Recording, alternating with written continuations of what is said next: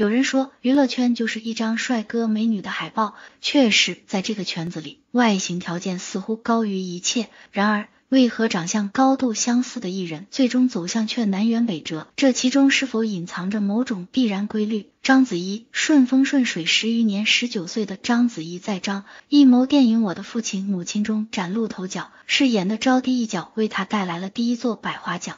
当时，章子怡刚从中央戏剧学院毕业，第一年。就以出色表现斩获影后，可见实力非凡。随后，他又在李安的《卧虎藏龙》中出演二当家，陈可辛的《尖峰时刻二》中饰演女一号，逐渐在国内外获得知名度，国际章的美誉由此创建。二零零四年，章子怡完成了人生的三大跨越：跨国，凭借《一期回忆录》获得金球奖提名；跨界，不仅是演员，还是制片人；跨平台，从电影转战电视圈。三跨均获得巨大成功，章子怡的事业进入黄金期，她被国内外瞩目，成为当之无愧的一线女演员。随后几年，章子怡接连参演了多部华语电影中的主角和女一号，比如与徐峥联袂出演的喜剧《非诚勿扰》系列，还有和梁朝伟搭档的文艺片《一代宗师》，特别是后者耗时八年精心制作。章子怡凭借电影中武博师姐一角，获得台湾金马奖、香港电影金像奖等多个最佳女主角奖项。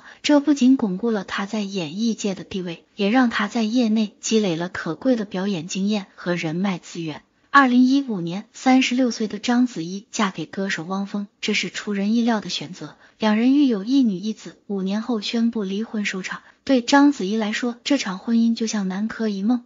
终究醒来后，回到了演绎的现实生活中。离婚后不久，他便宣布加入一档大型真人秀节目的演出，这被媒体和粉丝解读为复出的信号。作为一名实力演员，章子怡焕发的演技、成熟魅力与洞察人性的深刻演绎，仍将让无数观众为之倾倒。童谣被贴上小章子怡标签，与章子怡转战影视多年不同，童谣的演艺之路并不顺利。他被认为与章子怡长相酷似，所以从一开始就被贴上了小章子怡的标签。二零零二年，童瑶在电视剧《林海雪原》中首次亮相，饰演女二号。这之后十多年，她都在影视圈苦苦挣扎，始终没能走红。直到二零一六年，童瑶在《如懿传》中精彩演绎高皇贵妃一角，终于得到了关注。这之后，他又在《大江大河三十而已》等剧中出演重要角色，逐渐入戏，表现越来越出色。二零二零年，童瑶终于摘掉小章子怡的帽子，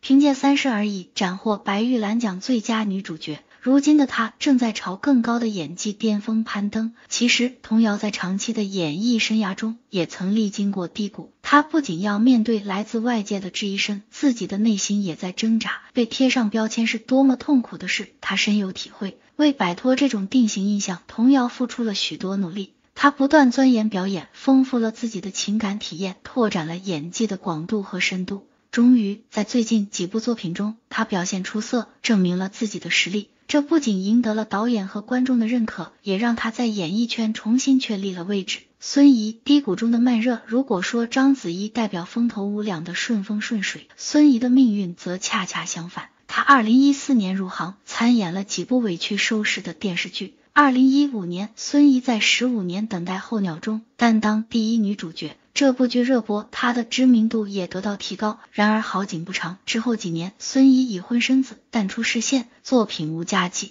直到今年，孙怡在某综艺节目中大谈感情经历，引发网友关注。许久不见的她，忽然之间又受到了追捧，人气高涨。或许这会是孙怡在低谷期后重新崛起的契机。他给人的印象仍是青春活泼、朝气蓬勃，再加上这次的插曲，似乎为他添加了些许戏剧性，也许会成为新的突破口。我们拭目以待。其实，孙怡的低迷期也并非毫无作为。作为一名演员，他始终在积极寻找属于自己的机会。在成家立室之余，他也在努力拓展自己的演技境界，拜读名家的表演理论。并不断接触舞台剧等多种表演形式，正是这份执着支持着他度过低谷，并在最近的综艺中释放了更加丰富立体的个人魅力。如今的孙怡不仅有着青春靓丽的外表，内心也因为这些历练变得更加成熟稳重。她正以全新的状态重新出发，向更高峰进发。李沁助力三部网剧热播，相比孙怡的光景，李沁的运气明显见多。她是因为校园选秀进入娱乐圈，首部作品就是备受瞩目的年代剧《红楼梦》。饰演宝钗的她一举成名，紧随其后的是大获成功的古装剧《白鹿原》。在剧中，她演绎了性格复杂、命运坎坷的田小娥一角。但是，真正让李沁事业达到巅峰的是另一部古装剧《楚乔传》。这部剧爆火全网，李沁的精彩演技获得极大赞誉。之后，他又在现代剧《庆余年》中挑大梁出演女二号。这三部剧的高人气让李沁成为当红小花，事业正处上升期。未来，她似乎会接拍更多稳定流量的作品。其实，李沁能在历次作品中脱颖而出，关键也在于她过硬的演技。从最初生涩的校园剧，到后来屡屡突破自我的古装谍战题材，他的情绪把控能力、话剧表演功底与内心情感体验的丰富程度，都是有目共睹的。在多部口碑与收视双丰收的剧中担纲要角，不仅使李沁在影视圈占有一席之地，也为他后续发展积累了丰厚的人气基础。波普的李沁正以多变的角色诠释展现自己的无限魅力。外貌相似，命运各有天意。通过上述四位长相酷似的演员，我们可以得出一个结论：在娱乐圈，外貌相似并不意味着艺人最终的成就也会相近。章子怡事业一飞冲天，童瑶则经历多年才渐入佳境。孙怡起起落落，李沁则一路高歌。每个人都有不同的人生轨迹，即便条件再相似，最终的命运也各有安排。也许这就是娱乐圈的魅力所在。我们无法预测每个人的未来，唯有拭目以待。